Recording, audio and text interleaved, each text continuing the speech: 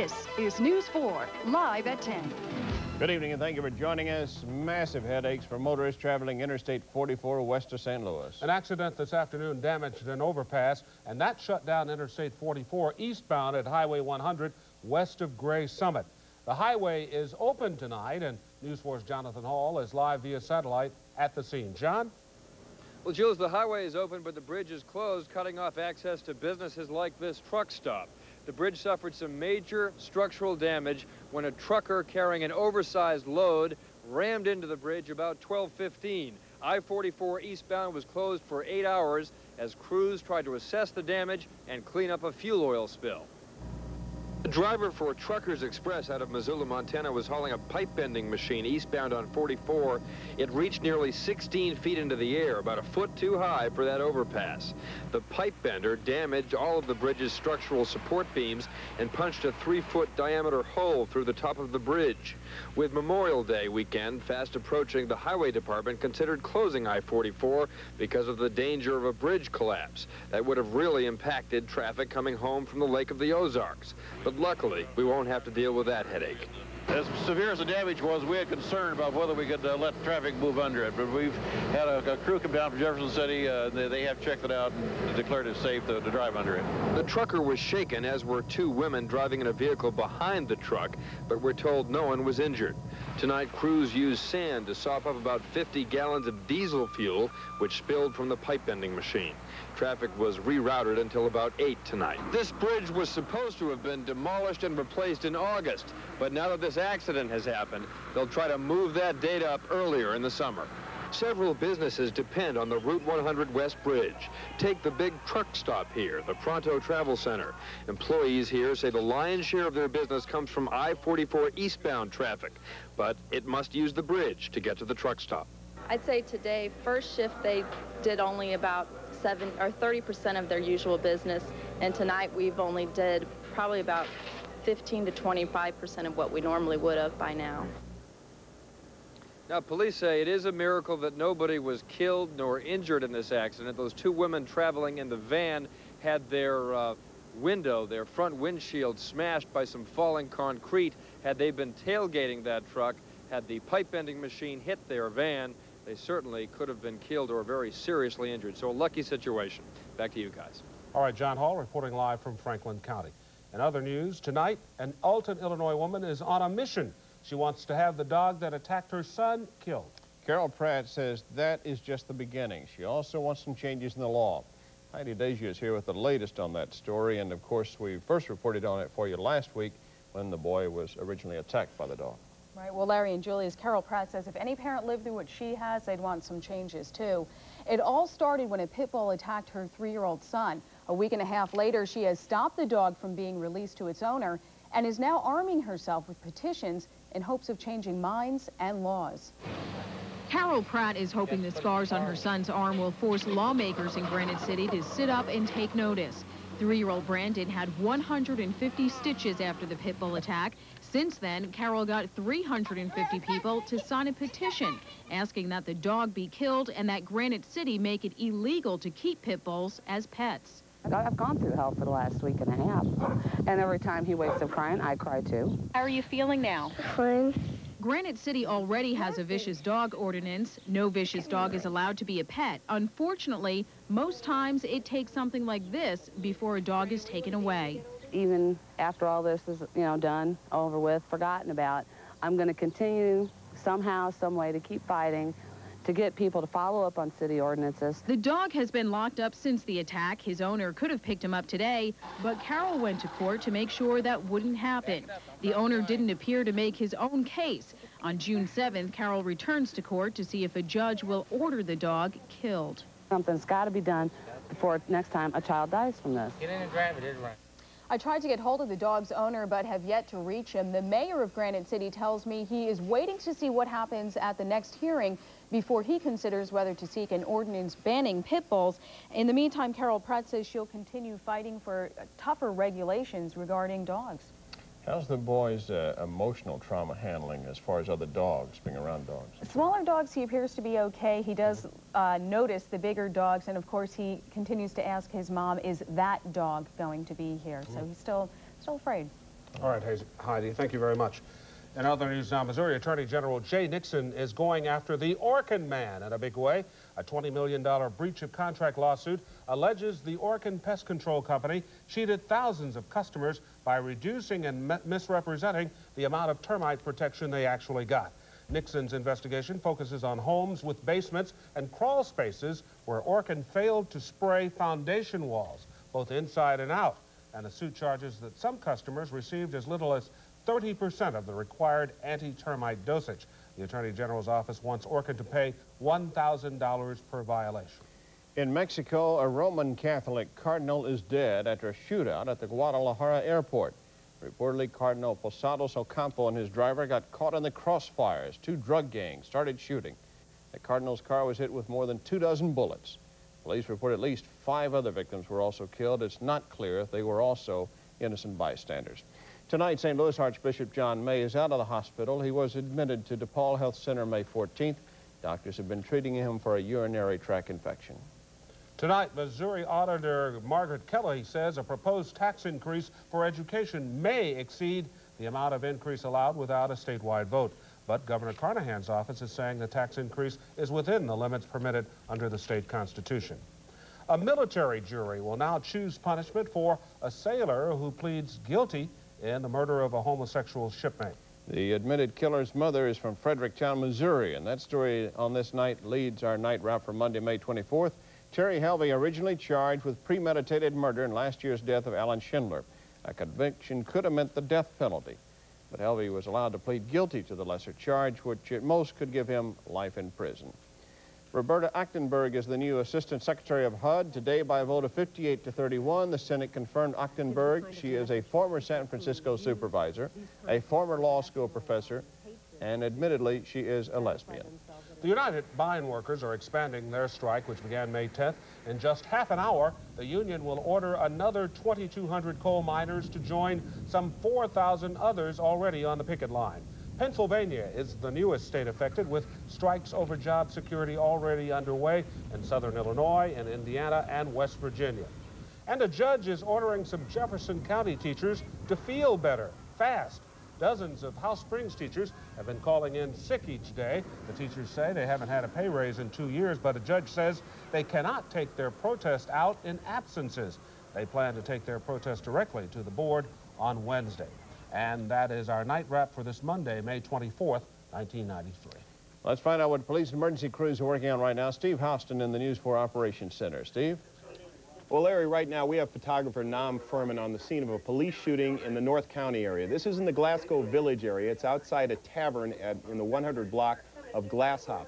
What we understand right now is that uh, police were called to this tavern earlier this evening where a man was reportedly flourishing a weapon. They got to the scene. Apparently, according to police on the scene, the man then flourished the sawed-off shotgun at a police officer. He shot the man. The man has been pronounced dead at the scene. There are a lot of police officers up there. They have crime scene tape up there as well. We have a photographer as well. We hope to have more information for you later on. That's it from the News 4 Operations Center. Larry, Julius? All right, Steve.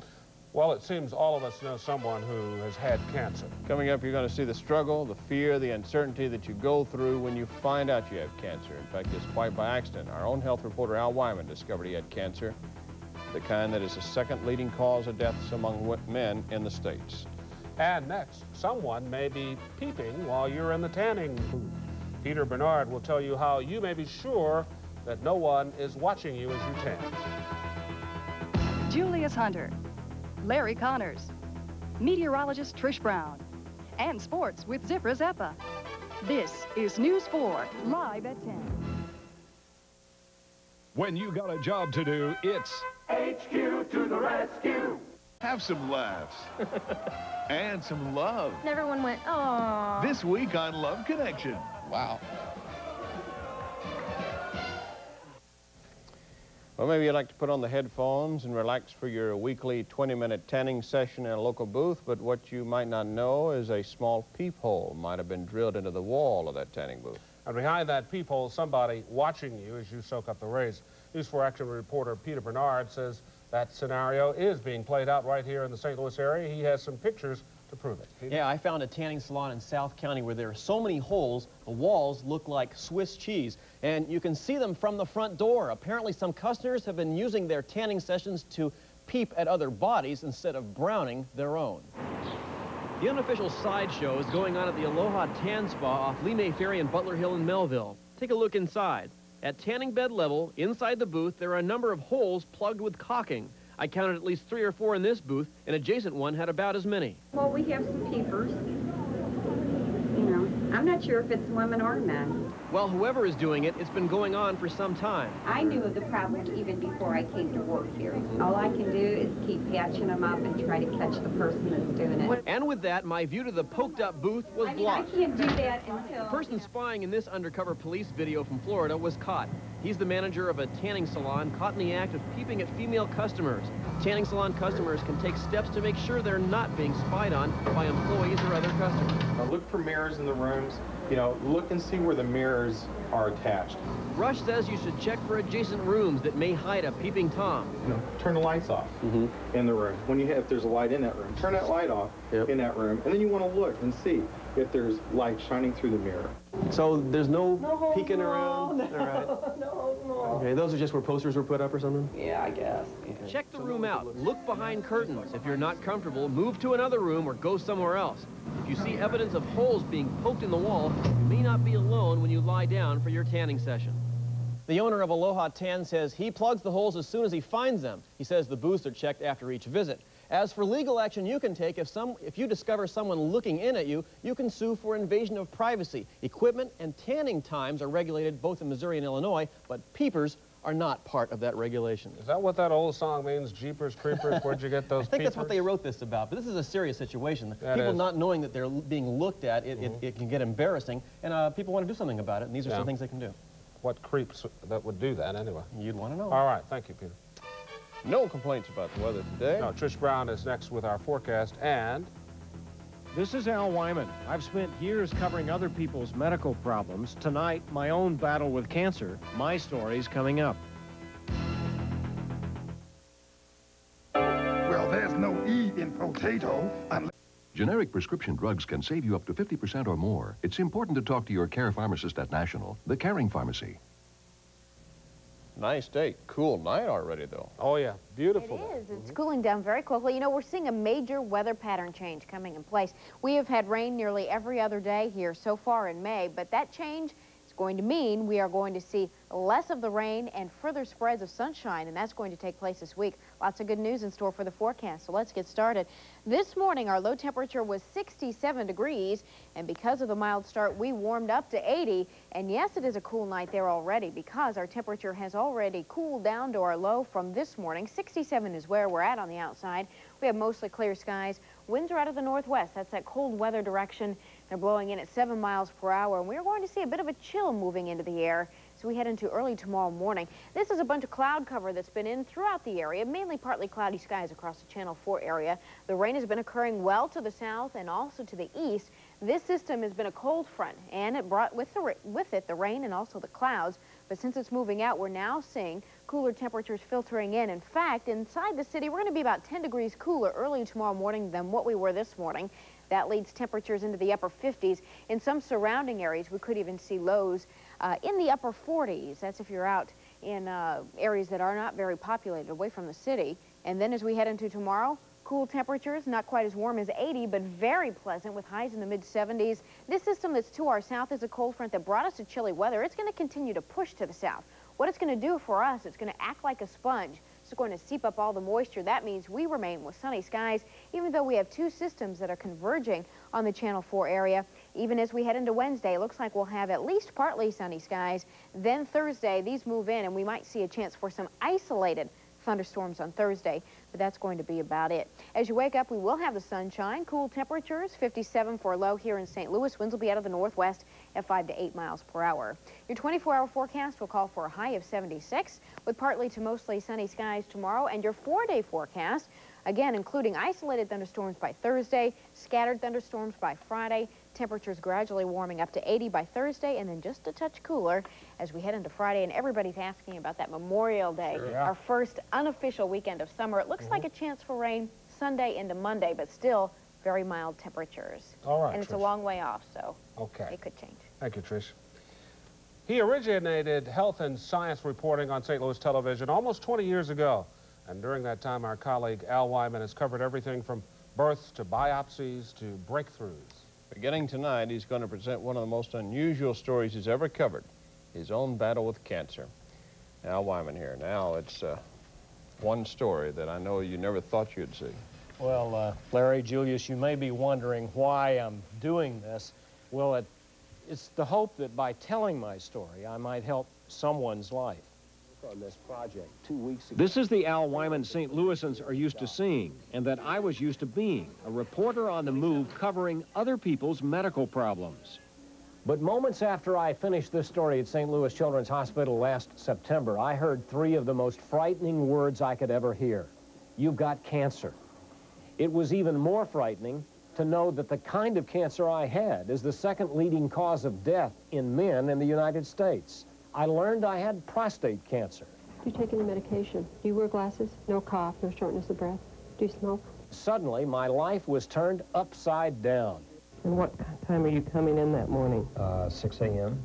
The medical reporter was now the medical patient. It's hard to be objective when you're the patient. That's why I asked Julius Hunter to interview my wife Glenda and me about how devastating it all was. There were many, many nights when uh, it would be very late at night and I'd be upstairs getting ready for bed and there's no Al, where's Al? And I would come downstairs and he'd be sort of staring off into space in the den. He was, he was very frightened. He was very, very frightened, both of us were. You didn't think you were going to die? It crossed my mind, sure, because even having the surgery, there's the possibility that, uh, you know, just going under general anesthesia, that you may not come out of that. Once it starts, the struggle to deal with this disease is like being on a roller coaster. I knew quite a bit about cancer because of my work, but knowledge can be dangerous. Knowing too much made it hard for me to keep my imagination from running wild. At my lowest point, I tried to learn as much as I could about my cancer. It was in the prostate, a small gland about the size of a chestnut at the base of the bladder. It's part of the male reproductive system. But as other people with cancer will tell you, no matter where it is, the emotional impact is devastating. How in the world does something like this happen? Uh, you, you, know, you try to eat all the right things, uh, fruits and vegetables. You, you know, try to stay away from too much red meat, uh, eat a lot of fish, you know, do all the dietary things, do the exercise, and you, uh, you sort of think, well, how can this happen? After learning about treatment options, radiation or surgery, my wife and I met with Dr. William Catalona to discuss the option I chose, surgery, to remove the prostate. I simply didn't want to exist with cancer in my body. There's really no way of knowing it until we actually have the microscopic examination. But, uh, you know, we can, we can sort of tell because those nerves run right down the front of the, of the rectal wall and the prostate sits on top of the nerve. And we like to just lift the prostate up off the nerves. And so if it separates very nicely, that's usually it. Now the roller coaster is moving faster. What is that? First, there are pre-surgery tests, and something all patients should consider if you have enough time before surgery is scheduled. Donating your own blood for use during surgery. I did. First time you hear the word cancer is, is um, a little frightening. Um, and then, what, then finding out how far it's gone. And the day before I went in for surgery, I wanted to talk with someone who had already been through what I was facing to help me prepare for what was ahead. They get you into bed pretty quickly and uh, ask a few questions, uh, start an IV, and pretty that's quickly it. that's it, yeah. Next thing I remember was waking up. I don't remember any excruciating pain. There was some discomfort. It, it's, um, um, but it isn't greatly painful. Now I was at the top of the hill, about to plunge over the edge. The roller coaster was about to take me on one of the most incredible journeys of my life, and I decided one of the most incredible stories I've ever covered. This is As far as you go. All right. Bye, sweetie pie. baby. I love you. You got lipstick on you. That's all right. That's a nice touch. I need all of it I can get. I know you will. All right, and you're going to be just fine. Okay. Okay? I'll see you on the other side. Okay. Yeah, can you help her? Can you help? Watching this uh, still makes me uncomfortable, but tomorrow night I'll take you into the operating room with me and I'll tell you how you can get a free prostate cancer screening test, a test that could save your life. A lot of folks out there, you know, they don't really know what striking anyone in their family, but you're like family to many of our viewers. Oh, yeah. So, uh, Certainly to us. Well, if Yes. it could happen to me, it can happen to anybody. Yeah. All right, Al. We're looking forward to tomorrow night's report to learn some things, and we're glad you're okay. Me too. Okay. All right. Get ready to write now because Mike Brown's newest Easy Money list is coming up in this next commercial break. you might see your name on the screen with the money amount next to it, so watch for that. And Zip is coming up next with sports. More overtime for the Redbirds as the Cards come closer for uh, another page in the record books. First, here's a look at the day on Wall Street, up about 15 points. Channel 4 has teamed up with the American Red Cross to help our local flood victims. Call 658-2000 to volunteer your time. Help us help our neighbors. This is the Infiniti J30. Oh, and this. Anheuser-Busch beers. Well, first of all, we want to find out how the Birds did tonight. All right, Zipper. Well, it's never a dull moment with this team, guys. I'll tell you, they make it exciting. For the third time in their last four outings, the Cardinals blew a late inning lead, but then they won the game in extra innings. Tonight's final in Montreal, Cards 4, Expos 1 in 11 innings. Let's go to Olympic Stadium. This is the only offense Cards had the first 10 innings. Bases loaded walk to Mark Whiten, brought home Gilkey. It was 1 to nothing in the sixth. They almost got more runs, bases loaded, same inning, Zeile, line shot. Mike Lansing, a sensational grab, got Zeile at first. Meanwhile, Rene Arocha pitching a sensational game. I mean, he shut him out for the first seven innings, took a shutout into the eighth, and then had a little bad luck. Part of the reason the Expos scored their only run, this ground ball that hit the first base bag should have been an out. That loaded the bases. The only run the Expos got scored on a sacrifice fly. But in the 11th, Luis Alicea, the game-winning hit, this triple down the line brought in two runs. Erik Pappas later had doubled in another. It was 4-1. Lee Smith in for his third chance to break the Cardinals record for saves. This time the big guy didn't blow it. He got the last out right here in a fly ball off the bat of McIntosh. Lee Smith becomes the all-time Cards leader in saves. Cards win it 4-1 in 11 innings. Meanwhile, the Phillies won, so the Cards still seven back. Hockey, you know, back in 1986, Jacques Demers coached the Blues to within one victory of the Stanley Cup Finals. Well, now Jacques is going to get his chance to win the Cup. His Canadiens finish off the Islanders tonight in Game 5. Let's go to the Forum in Montreal where they were waving that Canadiens flag, and with good reason. The Canadiens all over the Islanders. Brian Bellows scoring here. Canadiens won it 5 to 2, and then the celebration began as they head to the Stanley Cup Finals. Basketball, Western Finals. Phoenix wins it 105 to 91. Let's go to the America West Coliseum where Seattle didn't have it tonight. Here come the Supersonics. Easy jump shot, right? Wrong, they miss it. And Charles Barkley takes off. He says, I'm going to go through the entire team and dunk the ball. Sir Charles did. Phoenix wins big in game one. Oh, it's Monday night. That means it's time to play another hole in the old Dream 18. Let's go out to our Dave Simons at Bogey Hills. All right, Zip, my guest today, you either love him or you hate him. To some, his voice is like fingernails on a chalkboard. To others, he is the ultimate right-thinking kind of a guy. Talking about Kevin Slaten of KZK. Kevin, thanks for coming out. Hey, Dave, thanks for having me. Uh, I appreciate you coming out, and we're going to play the very tough and treacherous number 15. You've been here before? Yeah, once or so. Yeah. Once or so, and you're telling me how tough and treacherous this hole is. What would you know about this hole? I, I don't. That doesn't qualify you as an expert.